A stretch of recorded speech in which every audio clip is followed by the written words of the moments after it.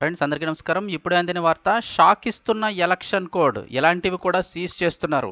So ప్రతి ఒక్కరు వీడియోని అయితే కనుక తప్పకుండా లైక్ చేయండి. లైక్ చేయడం వల్ల మరింత మందికి సమాచారం అయితే చేరుతుంది.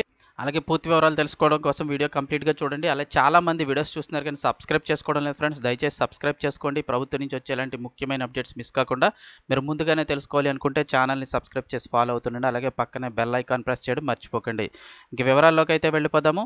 మనందరికీ తెలుసు దేశవ్యాప్తంగా కూడా ఎలక్షన్ కోడ్ అయితే గనక అమల్లోకి వచ్చేసింది. ఇక విస్తృతంగా తనిఖీలు చేస్తున్నారు అన్ని ప్రాంతాల్లో కూడా. ఇప్పుడైతే గనక చిత్తూరు జిల్లాలో పోలీసుల తనిఖీల్లో చిత్రం బళార విచిత్రం అంటున్నారు. ముఖ్యంగా చూస్తే పెళ్ళి సారెను కూడా వదలనివైన అన్ని కూడా సీజ్ చేస్తున్నారు అందులో భాగంగా ఇక్కడ వివరాలు చూస్తే సార్వత్రిక ఎన్నికలకు నోటిఫికేషన్ విడుదలైన మరుక్షణమే దేశవ్యాప్తంగా ఎన్నికలు కూడా అమల్లోకి వచ్చింది.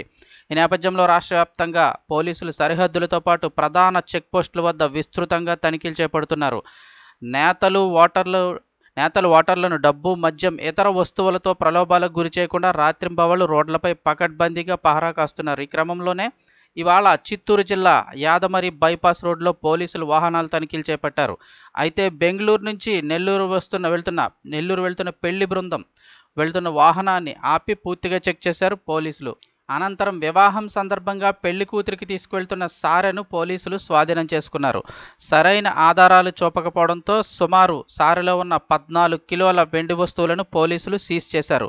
పెళ్ళికి వెళ్తున్నామని చెప్పినా తమను విడిచిపెట్టలేదని పెళ్ళి కూతురు సారెను కూడా సీజ్ చేయడం దుర్మార్గమని పెళ్ళి బృందంపై పెళ్ళి బృందం అయితే కనుక పోలీసులపై తీవ్ర ఆగ్రహం వ్యక్తం చేస్తున్నారు.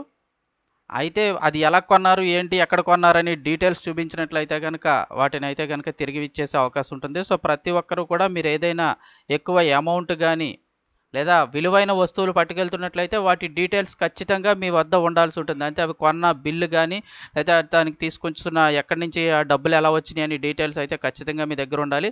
లేదంటే ప్రతిదీ కూడా చెక్ చేస్తున్నారు.